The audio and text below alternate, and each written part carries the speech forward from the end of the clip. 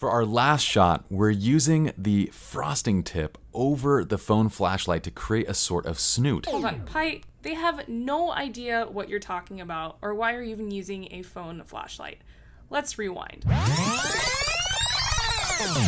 How do people do this? So for a while, we've actually been thinking of what to do on YouTube, and I think I've got the idea. We've been in this zone of creating professional training systems. Let's get back to the basics. Shiv! Shivani!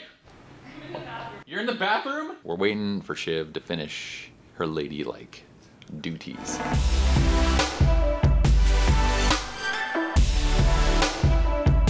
Welcome to episode one, nighttime portraits with nothing but the flashlight on your phone. We'd like to thank Canon for sponsoring this video and making this content possible. Of course, she enters on her phone. What are you doing? Did you wash your hands? Everybody knows this for a training system, but on YouTube, I feel like I want to get back to creating just fun stuff. I want to do back to the basics, like a series of YouTube videos where we use nothing. Each episode is like kind of short, it's fun, but we have to have like rules. Who gets to design the rules? Are you designing the rules? Because then I feel like that's not fair. If I get to design the rules, then I'm down. How about that? You already run my life in every possible way. Why don't we do like later today? Want to do a nighttime session? Yeah. So we have the, the R. Now we only get one lens. Since it's nighttime, I'll give you like a tripod. Oh, thank you. I'm gonna go with the 35 prime then. Just the light on your phone. You can pick like a couple of things that you want to use. Ready and go.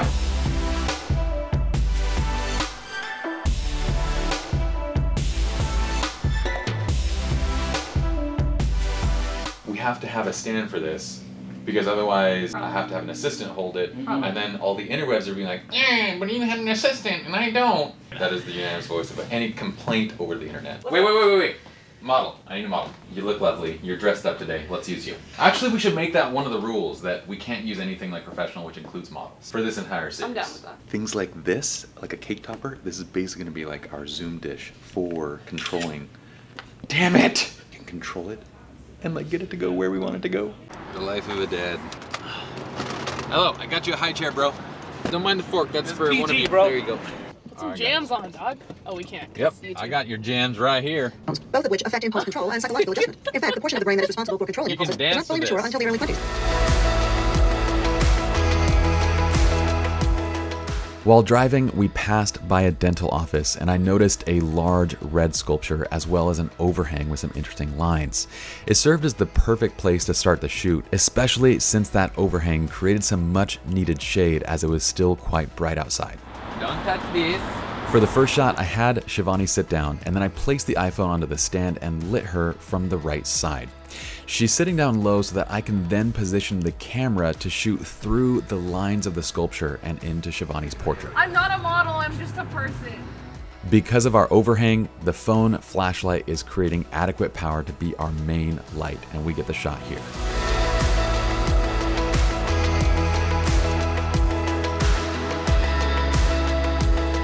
For the next shot, I noticed that if you looked through the sculpture, you had this beautiful diagonal opening where we could actually place and frame Shivani's portrait. The trick was the outside of the sculpture was still very bright. I only had one lens. So this is where the EOS R's crop mode became quite useful. Keep in mind that the crop mode still does crop down resolution to around 12 megapixels, which makes it much less useful than if it still retained 30 megapixel images. However, it's still useful as a compositional tool to dial in the exact composition that you want when you intend to crop and post. This allowed me to frame out the brighter outside areas of the sculpture and to only shoot the inside darker area to get this beautiful graduation which you see in the image here.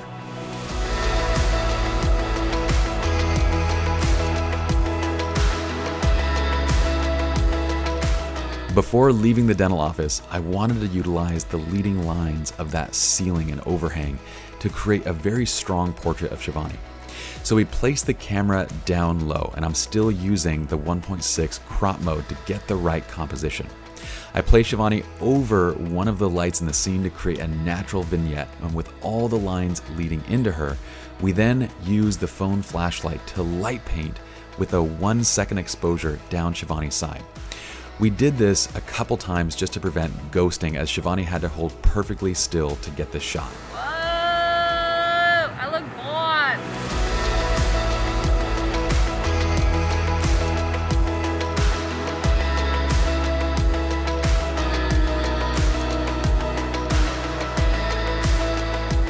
Next, we came to a parking structure, and on the rooftop, we had these walls that we could use that simply provided a solid backdrop for Shivani. I placed Shivani against the wall, and I used the copper pipe to lend imperfections and shapes to the phone flashlight.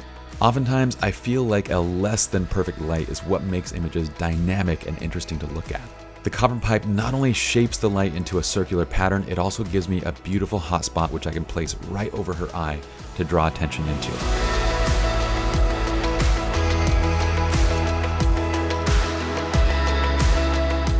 For the final shot in this scene, I use a technique of light painting that's quite handy when you only have one light but you want to create a shot that has multiple light sources. I use the light in the background and on Shivani in four different ways to create four differently lit shots. Now, Shivani has to hold still throughout this entire time, and you'll notice the camera is also on a tripod, because what we do from there is combine all four of these layers into Photoshop and then simply mask in the light where we want it to appear.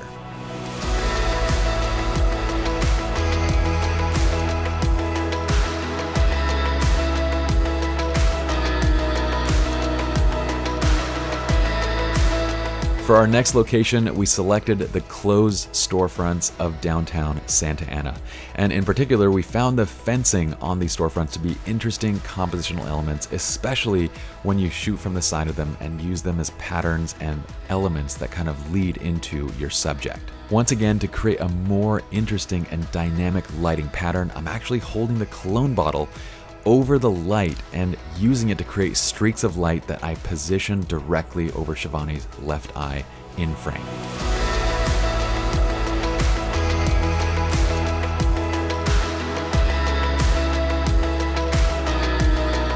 In the same scene, we adjust Shivani's pose and position to lean up against the fencing. From there, you'll see me grabbing the frosting tube, and I'm using a little bit of gaff tape to tape it onto the phone. This allows me to essentially snoot the flashlight in the phone and to create a very controlled light which I can then place exactly where I want in the scene. For this shot, I'm using as little power on the phone flashlight as possible.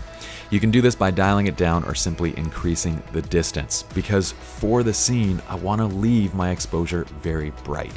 I'm at 120th f1.4 and ISO 800 to let a lot of light in. Then we're using the snooted phone light to simply add a kiss of light that draws our viewers' attention into Shivani's face and features.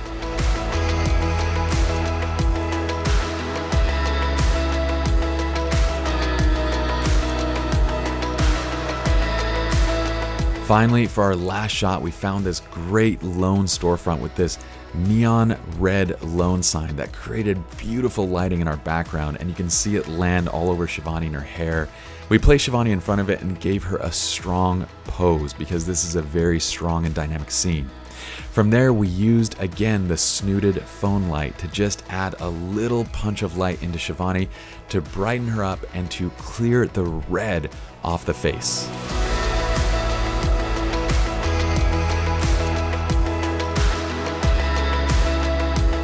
So much for watching guys. We hope you enjoyed what we created today. And as you can see, we used just a mobile device flashlight and some really weird modifiers that Pye found in his room. If you guys want to see more videos like this, our Back to Basics series, then let us know in the comments like what suggestions you have. We would love to hear ideas from you guys. Make sure you guys subscribe so you can see more videos and we will see you in the next one. Oh! Yes! You're the worst, dude.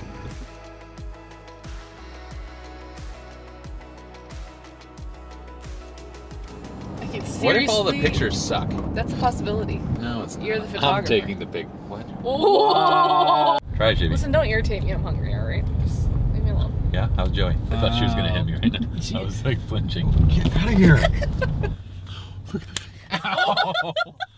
what the hell? You can't put that in there. Are you shooting my sweet bag? Yep.